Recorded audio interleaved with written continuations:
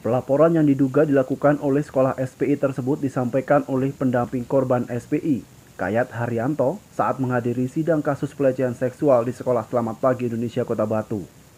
Menurut Kayat, pelaporan pada korban SPI dilakukan pada minggu lalu dan diagendakan Jumat 11 Agustus, dua orang korban akan menjalani pemeriksaan di Polda Jatim. Laporan atas dugaan pencemaran nama baik tersebut dilakukan setelah beberapa terduga korban pelecehan seksual yang juga alumni sekolah SPI yang datang ke acara podcast.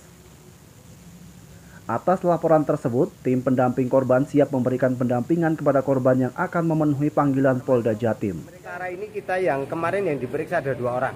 Yang dilaporkan dua orang. Sementara dua orang. Jadi ya bu bukan yang dilaporkan siapa kita tidak tahu.